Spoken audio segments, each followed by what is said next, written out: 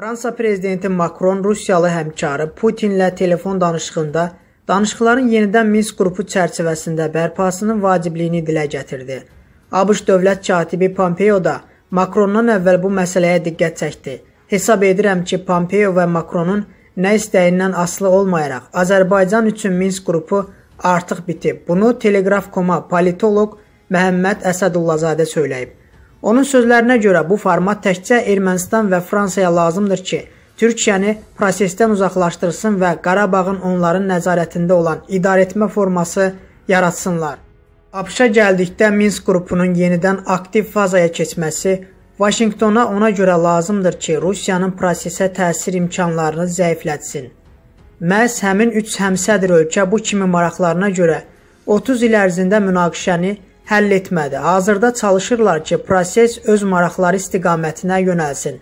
Buna görə də yenidən bu formata qayıtmaq planından danışırlar. Hesab edirəm ki, Azərbaycan qəti şəkildə Minsk qrupu çərçivəsinə qayıtmamalı, bundan birdəfəlik imtina etməlidir.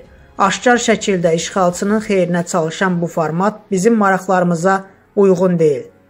Prezident İlham Əliyev də növbəti dəfə Dağlıq Qarabağa statusun verilməyəcəyini elan etdi. Bu ayın sonuna kimi 3 rayon Ağdam, Kəlbəcər və Laçın Azərbaycana qaytarıldıqdan sonra Xankəndindəki separatçıların rəhbəri Arayı Kartunyanın mövcudluğuna son verilməlidir.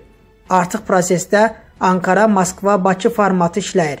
Məhəmməd Əsədullazadə bildirib ki, Rusiya və Türkiyə arasında birgə monitorinq mərkəzi yaradıldıqdan sonra atəşkəsə birlikdə nəzarət ediləcək. Hazırda Ermənistan silahlı birləşmələri anlaşmaya uyğun olaraq ərazilərdən çıxarılır. Amma hələ də Qarabağın müəyyən hissələrində erməni silahlı birləşmələri qalır. Onlar da tam çıxarılmalıdır. İmza atılan üç tərəfli bəyannamədə bütün erməni hərbi birləşmələrin Azərbaycan ərazilərindən çıxarılması qeyd edilir. Türkiyə silahlı qüvvələri Şuşa, Hadrut və Kəlbəcərdə yerləşdikdən sonra proseslər tam fərqli olacaq. Yəni hazırda Xankəndində davam edən proses kimi olmayacaq. Çox fərqli proseslərin şahidi ola bilərik.